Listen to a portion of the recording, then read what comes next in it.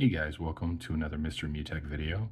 Today I'm going to show you how to stop the Weather Channel app from freezing on your iPhone.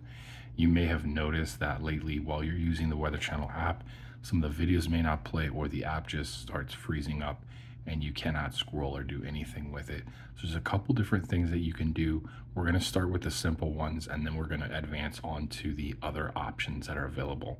So the first thing that you wanna do if you have access to it is go ahead and go to your profile on the Weather Channel app. And once you tap on your profile, you're going to go down to video autoplay. Once you go to that, you're going to want to make sure that autoplay breaking news and autoplay videos are set to off or unchecked. This could be because you have an issue with your Wi-Fi connection and the Wi-Fi connection could be causing intermittent display with that. Another thing that you can go ahead and do, and we're going to go ahead and do that right now, is to turn off our Wi-Fi.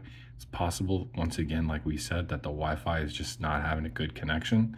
So we'll go ahead and turn that off and see if that corrects it if we're using our mobile data. And if this is still not working for you and you're still having issues, then the next thing we're gonna go ahead and do is get out of this and go ahead and go to our settings.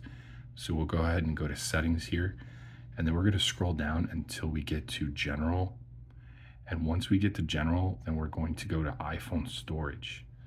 Once we get to iPhone storage, we're gonna wait for that to load and we're gonna just scroll down here until we get to the Weather Channel app.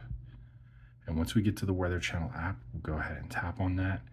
And then you're gonna see an option to offload app. This is going to help you to uh, get rid of any data or anything that might be glitching with the app. Go ahead and press the offload app.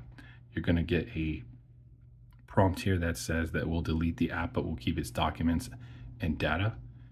And you want to go ahead and offload the app there. Once you do that, you're still going to have the app available.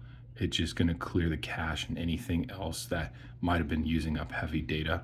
This is going to reset the app in a sense so that you can go ahead and test and make sure that there's no connectivity issues. So hopefully this is helpful for you guys. If so, feel free to throw a like at this video and have a great day. Take care, everyone.